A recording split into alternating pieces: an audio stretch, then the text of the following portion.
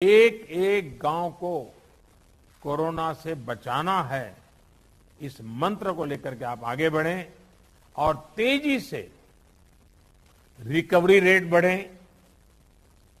तेज़ी से पॉजिटिव केसों की संख्या बढ़े। तेज़ी से टेस्ट ज़्यादा हो। इन सभी बातों पर बल देते हुए हम सफलता की दिशा में एक भी प्रयास न छोड़े।